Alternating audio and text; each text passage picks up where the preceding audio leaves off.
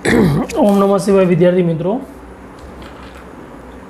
આપણે અહીંયા મહત્ત્વનું ચેપ્ટર શીખી રહ્યા છીએ. ચેપ્ટર નંબર પાંચ, ભાગીદારી પ્રવેશ.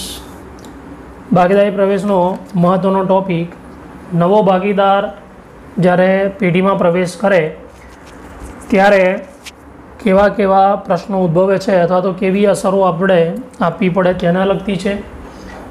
સૌથી પહેલાં આપણે અહીંયા જોઈશું કે જ્યારે નવો ભાગીદાર પ્રવેશ કરે છે, ત્યારે જૂની જે ભાગીદારી છે, જૂની ભાગીદારીનો અંત આવે છે અને નવી ભાગીદારીનું અસ્તિત્વ રહે છે.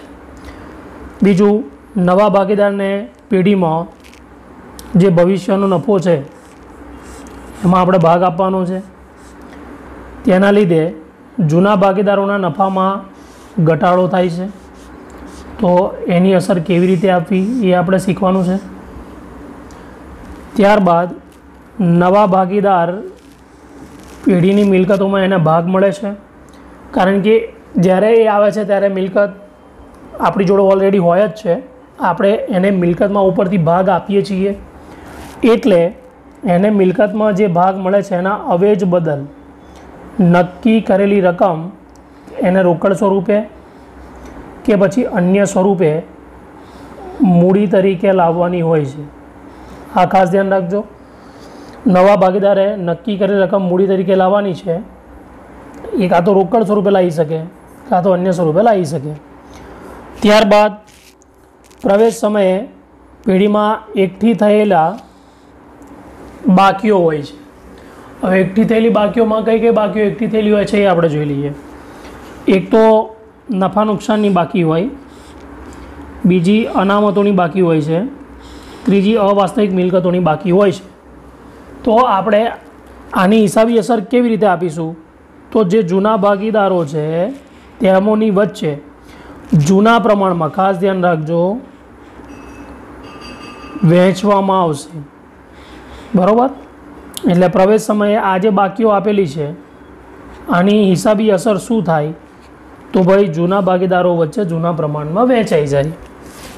હવે આપણે પાંચમી અસર ઉદ્ભવે છે મિલકતો જે આપણી જોડે છે, ભાગીદારો જોડે.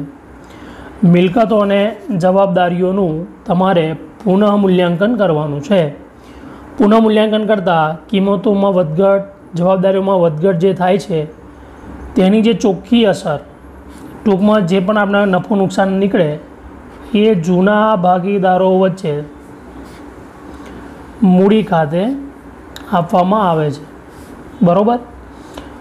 ટૂંકમાં પુનઃ મૂલ્યાંકન ખાતું જે આપણે બનાવીએ છીએ, એનું જે પણ પરિણામ આવે, નફો કે નુકસાન, એ આપણે જૂના ભાગીદારો વચ્ચે જૂના નફા નુકસાનના પ્રમાણમાં વેચવાનું હોય છે.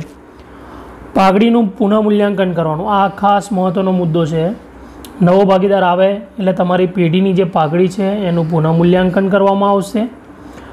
નવો ભાગીદાર ભાગીદાર ભાગની તેના ભાગની પાઘડી. નવો ભાગીદાર, તેના ભાગની, ખાસ ધ્યાન રાખજો.